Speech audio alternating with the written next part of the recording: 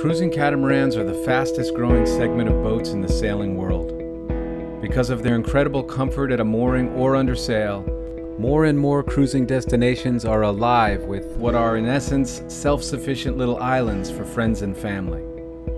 They are stable, fast, and readily available for charter in nearly every exotic location on the planet. With this in mind, the American Sailing Association has written Cruising Catamarans Made Easy, a comprehensive textbook that takes the mystery out of sailing or chartering a mid to large size multi hull sailboat.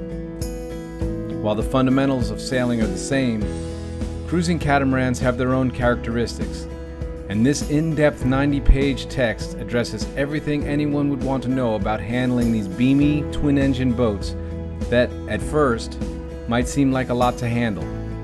The book is packed with practical information and promises to get you up to speed. But one thing it doesn't teach is how to do this.